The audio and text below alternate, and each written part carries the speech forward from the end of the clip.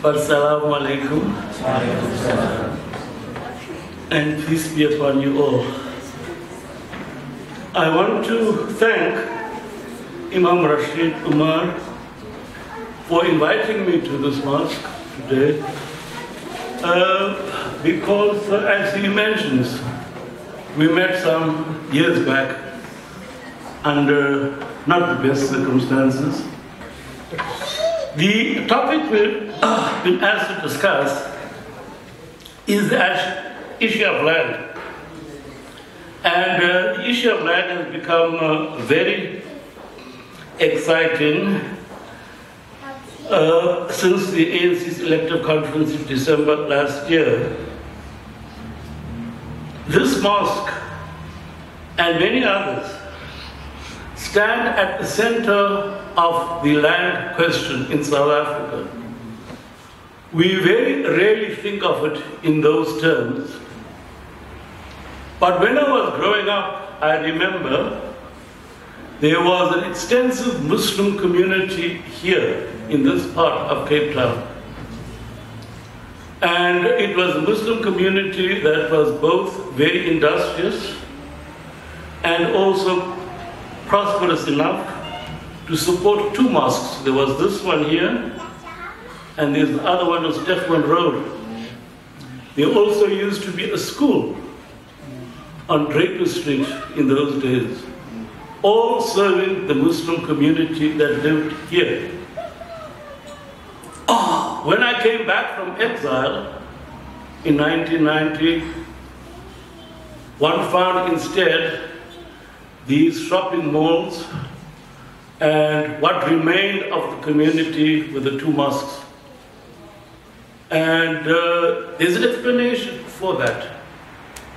And the explanation is the Group Areas Act passed in 1951, three years after the National Party came into office. One is uncertain what happened to the community that used to be here, but it left its mark here in the shape of its houses of worship. Now, why I raise this is because there's a tendency when we talk about the land question in South Africa, people tend to think of farmland. People tend to think of land that's outside the urban areas. People even tend to think sometimes of land in what was called at one time the Bantu homelands. But that isn't what the land question is about. Land question is essentially about the right of every South African to feel a part of this country to which all our communities have contributed in one way or the other.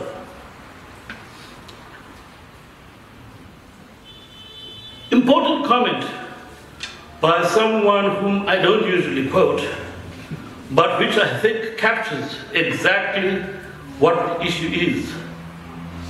And this is a gentleman by the name of Steven Friedman, who wrote in the Mail and Guardian in March of this year.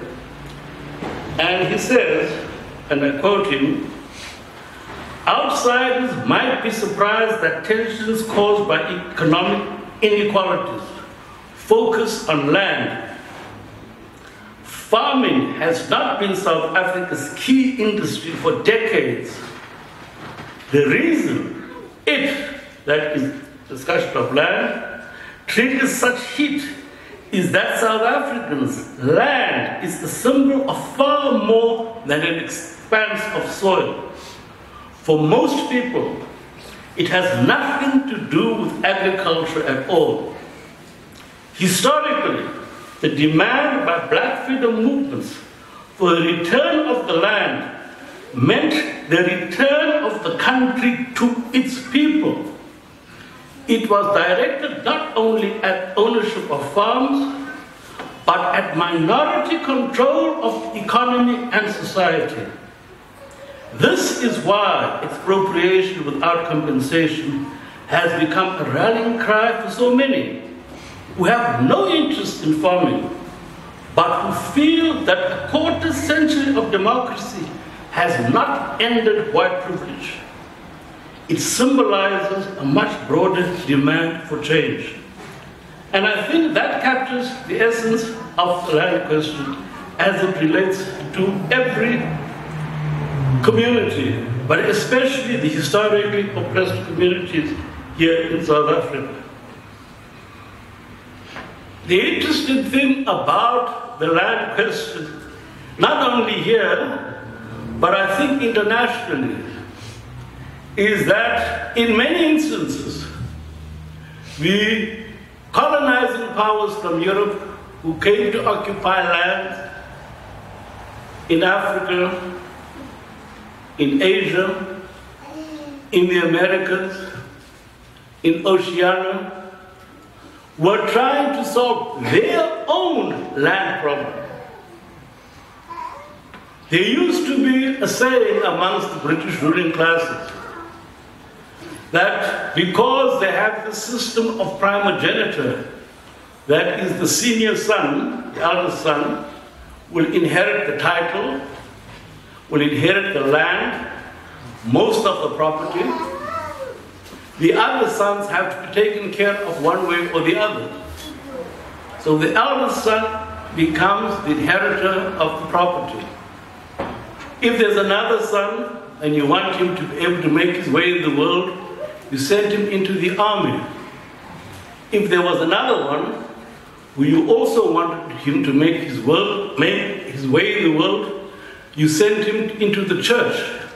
And if he had a fourth son who was not very, very smart, you sent him to the colonies. And that is in fact what happened. That is in fact what happened. If you go back even to our own history here in this country, many of us, of us forget that why Van Riebeeck was sent to South Africa was because he was being compelled to pay back money he had embezzled from the Dutch East India Company. Something that was underplayed in our textbooks in high school, in primary school, but that's the truth. And you will find that in many instances, what European powers were trying to do was to solve their own problems of overcrowding, overpopulations in their societies, and send their excess population to occupy and take over other people's lands. And in the process of doing that, usually brought along with them the chains of enslavement, which accounts for the ancestry of a very large part of our own South African Muslim population. They brought with them also institutions such as the Sjambok, and also imposed on the people that they found in the countries they came to occupy all manner of laws. And Comte de Bugeaud who commanded the French armies that conquered Algeria in the 1830s, says in Europe, when you fight a war, what you do is you try to seize the city. And you try to seize the cities because that is where you will find the banks, that is where there will be the stock exchange, that will be the seat of government, that is the headquarters of the police.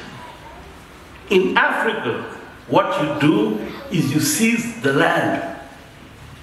And that is invariably what happened in all colonial societies and in all colonial situations. And I think we can see the sort of heat and passion that seizure of other people's land excites when we look at what is happening on the border between Gaza and Israel every day. Massacres on the scale of Sharpeville happening there virtually every day because the land of the Palestinian people has been seized by other people who claim to have biblical rights to it. Don't want to get into that. But the fact of the matter is historically that is land and that was Palestinian land which has been seized. Here in our country, we very rarely think about a massacre such as Sharp or the one that happened here in Langa in 1960 as relating to the issue of land. But think about this that in 1913, white colonial racist government passes a law called the Native Land Act, which says in land, in legislative language, stamp of authority of the Governor General and the King. No African, no person of African descent may own and have access to land in 87% of the land area of the country. And that 87% contains all the major cities, contains the best agricultural land. The only part of South Africa in which an African can have any claim is 13% of the land. That means if you want to go to Johannesburg, you are going to a place where you may not claim land. If you're coming to Cape Town, you're coming to Port Elizabeth, to Durban, anyway, you have no right to own land there. And to go there, you need therefore a dompas. And to move in that city, you need a special pass, a NAG pass, a track pass, a this pass, a that pass, an other pass. And that is what Sharpeville was about. At the base, the issue of land.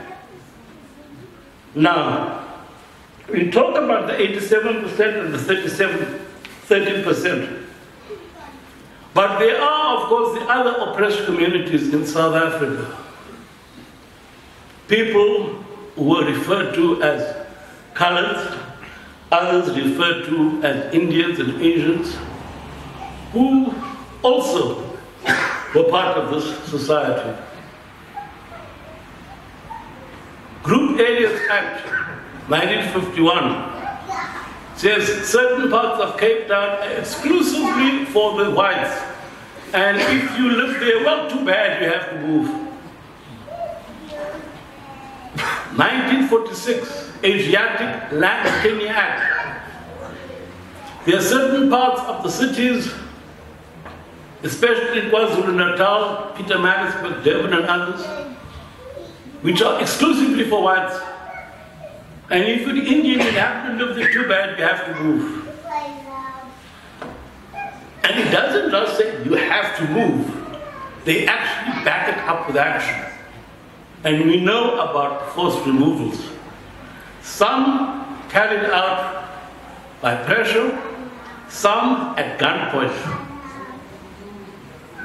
and entire communities lost what they had built, what they had constructed, what they had cherished. I meet an old friend, Yusuf Abrams, who grew up in this community which used to be here. I think he's moved somewhere else to a posher part of town. ah, but he has strong feelings about this community, so he is still in this masjid, and that's commendable. But what are we going to do about the people who lost their land here? What are we going to do about the millions of others who have been dispossessed of their right to land in South Africa? Now, these are questions which are highly emotive and make people very angry. But we have to be very careful and deliberative about it. Because sometimes when we react emotionally to these issues, we make terrible mistakes. What I'm talking about, dispossession of African people, indigenous people of their land, happened everywhere where there were white settler colonies in Africa. Here in Namibia, Zimbabwe, Kenya, Algeria. Our friends in Zimbabwe angry about this issue, but not thinking very clearly, saying, no, no, we'll touch it. The white farmer up, take the land. Beat up that one, take his land. That one, beat him up, take his land. Go into the streets here, and lots of brothers from Zimbabwe didn't actually help, David. it? Didn't help, David? To emotionally react to the issue of the land and say, no, just take it from the white farmer. Didn't help. There are thousands of Zimbabweans in the streets of South Africa. And I was commenting the other day when I called up the municipal council to fix my electricity. And an African fellow comes along with a colored fellow. And I say to the African fellow, my brother, where do you come from? Because he couldn't speak any of our local languages. And he says, Zimbabwe.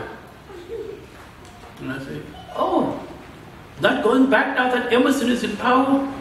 And he says, I want to wait and see. But that is sometimes what happens if you act too angrily about these things. Now, what we have to weigh in our own situation here in South Africa is the experience of other parts of the world and also to think about our own history. So solving the land question has been one of the most difficult issues confronting transformative and revolutionary governments, especially during the 20th century. I think with the exception of Cuba, land reform in most of the countries that have tried to solve the land question by revolutionary means has been attended by a great deal of violence. Perhaps because Cuba is 60 miles, 90 miles from the United States, the people would, would have caused the violence left and then tried to come back from outside, but didn't stay in Cuba, which is maybe why they were able to solve it. But in other parts of the world, it has been very, very, very difficult to resolve it. One thinks, for example, in Russia after the revolution, and one thinks about Eastern Europe, one thinks about China and countries such as those. So the land question isn't one of those things that one should take easily for granted and think that there are shortcuts to solving it. Which is why we want to appeal for deliberative debate and the land question in our own country evolved over centuries, essentially involving the dispossession of indigenous people, the enslavement of others. and as a result of that, the patterns of land ownership and the patterns of exploitation in relation to land and land ownership in South Africa have been very different. You had a system of slavery in the Dutch East India Company colony here in the Cape, taken over by the British in 1806, who abolished slavery in 1938. You had on the farms in and around Cape Town the remnants of the Khoi and the San people now the mandate that that East India Company got from its king said that they may not enslave the people in South Africa. Those in Indonesia and uh, Madagascar and Sri Lanka, well, well oh, oh yeah, yeah, those you can enslave. But these ones here you can't touch. So they developed a sort of neo-feudal relationship with the Khoi Khoi and the San.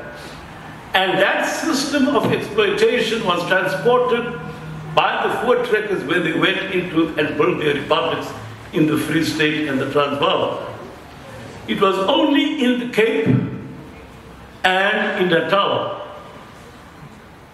where, after the abolition of slavery, you had a system of so-called freehold which was theoretically non-registered which was why you could actually have communities like the one here in Claremont, District 6, Bo-Kaap, Wynberg, Constantia, and others develop. which is why you could have evolved, for example, in the Eastern Cape, a stratum of very wealthy African farmers who could compete on equal terms with their white counterparts on the market producing wool, grain, and other products. But the majority of people in the country either occupied land on a communal basis or occupied land as tenant farmers. In the Free State and the Transvaal, many of the African people who had been conquered by the Boers lived as tenant farmers on those farms. Again, that neo-feudal system that they brought with them from the Cape. So when we had that unification of South Africa in 1910, we had very different. They create the land bank, which makes available money and loans for whites only, thank you very much, knowing that the next year lots of Africans are going to be compelled to sell their property at fire sale prices because they may no longer own land town like Kimberley or Johannesburg or Durban, etc. You have to sell. And of course, this white guy there with some money from the land bank can buy your property. Why not? Same thing happened after the Asiatic Land Tenure Act, 46. And again, Group Areas Act, 1951. Facilitate whites acquiring land which you are compelling people who are not white to sell. So what the thrust of land ownership here in South Africa was, was to consolidate in the hands of the whites, the white minority, the best land, the highest quality land, the most attractive land, and to compel everyone else into the worst possible land and so on. So what we had developed in South Africa is conquest and dispossession on the one hand, enslavement, a coercive process of transforming the indigenous people, the majority, into workers and laborers on your farms, which culminates in systems of labor tenancy and wage slavery. And it is a system that was upheld through native reserves, and the native reserves played a very important function in the system. Because African families could not come into the urban areas, you are outsourcing the responsibility, usually assumed by urban governments and others, we are outsourcing that responsibility of bringing uh, up children and taking care of the aged, the injured, and disabled to African women in rural areas. Now, why would liberation movements in South Africa, therefore, not privilege the land question? And every liberation movement that has evolved in this country has placed the land question at the center of its program. Stated strongly in certain cases, stated in more moderate terms in others. But the right to acquire, to buy and sell land in any part of the country has been at the center of every program that you have seen since 1935 during the Second World War, for example, the ANC adopted the African Claims and it addresses the land question in clauses 6 and 7 of that document as follows.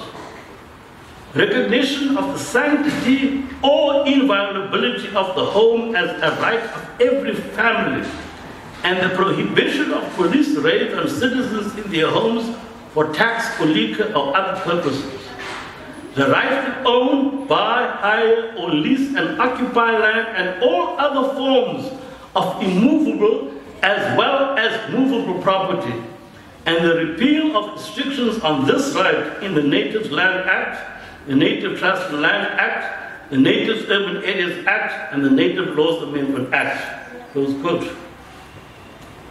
During that same period, another movement, the non-European movement established here in the Western Cape, also adopted a program on land, saying that the land should be redistributed in accordance with the above.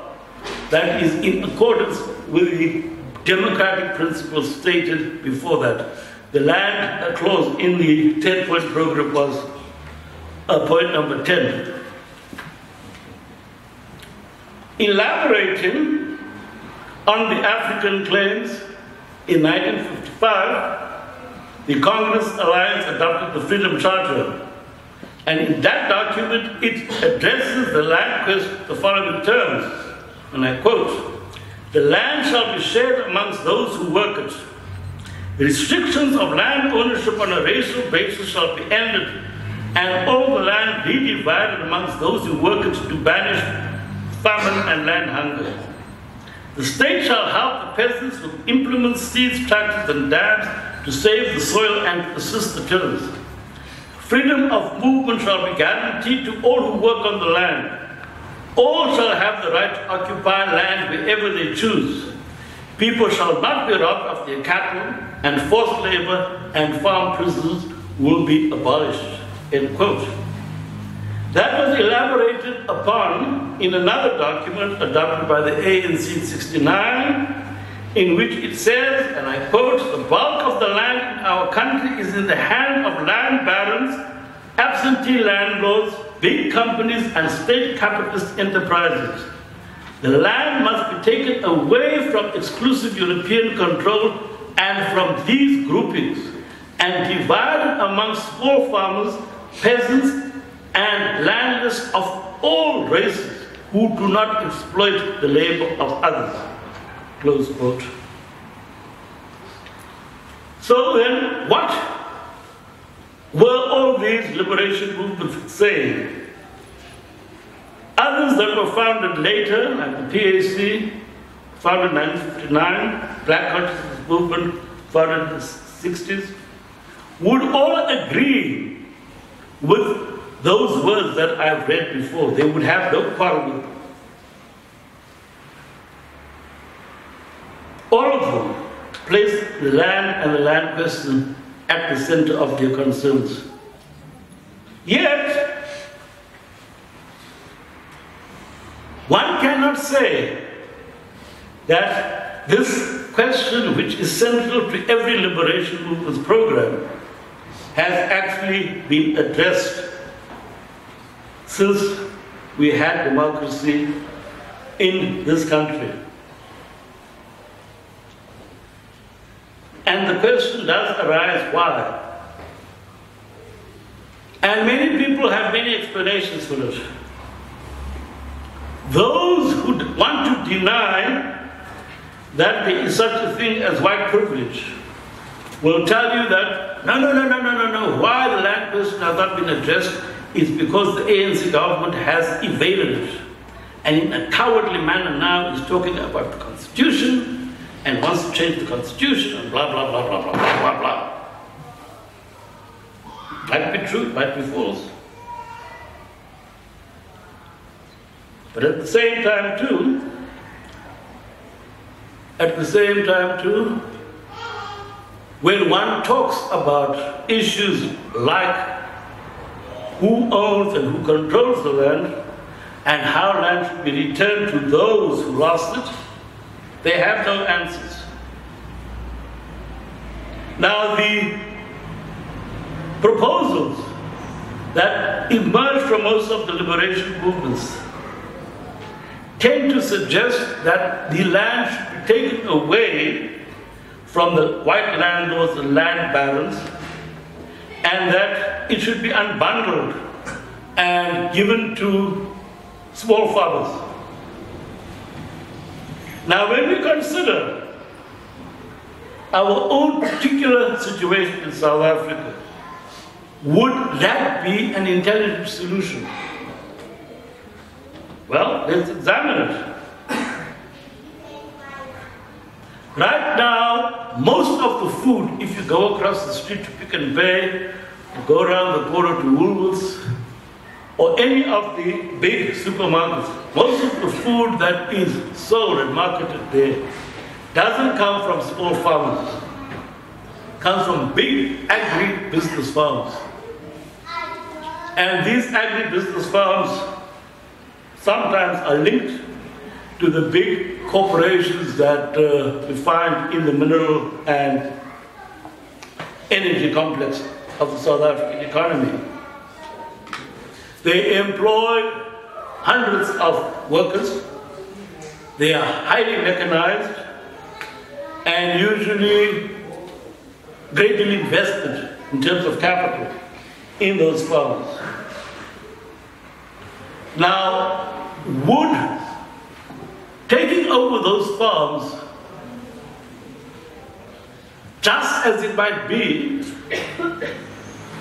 give South Africa the sort of food security we have at present? And the answer to that is no. So, that's not the way to address our land question.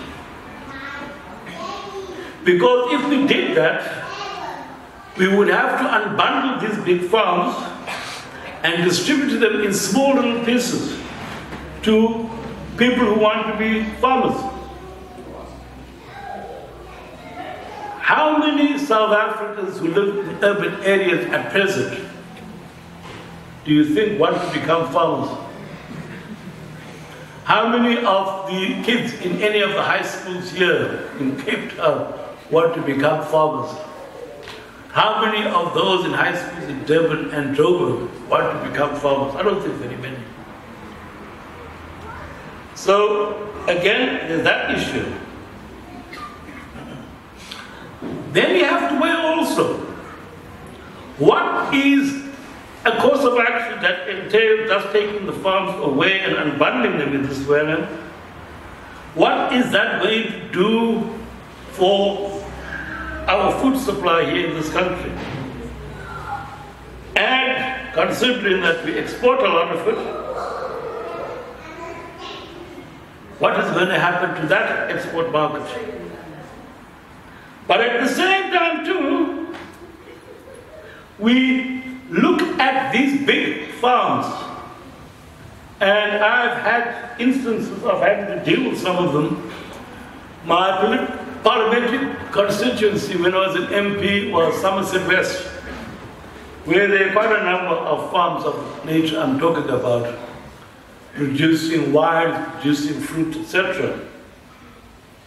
And uh, you find on those farms families who have lived and worked on those farms for generations. For generations. You also know that the farm workers in South Africa historically have been the most vulnerable, subject to all sorts of abuses, beatings by farmers. There's the notorious tot system which used to be practiced and is still practiced in some of our farming areas. And the working conditions are often degrading. Now, given that then, what does justice demand that we do? Someone who's worked on a farm for generations, that is, generations of his family have invested in that farm and getting very little in return, what does justice demand we do? Very tough question. Now, Uncle Bob next door says, take the farm and beat up the farm and drive him away. We could do that, but I don't advise it.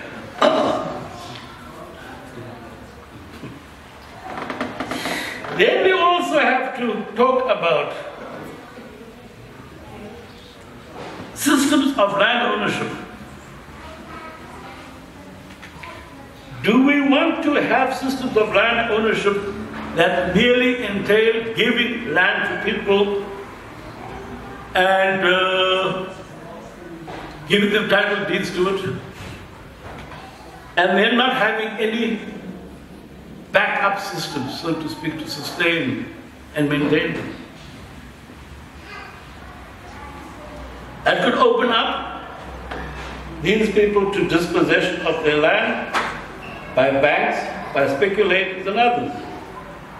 So should we perhaps be talking about other forms of land ownership and should we perhaps be exploring the sorts of options that you find in other places, cooperatives, etc. Lastly, one wants to talk about the land in what we refer to as the Bantu homelands. This is a sector which is dominated by women as tillers. And the system that was devised by the colonial and racist regimes endowed the traditional leaders with the right to distribute land. We want to retain that? What forms of support does one need for the women who are the tillers in these places?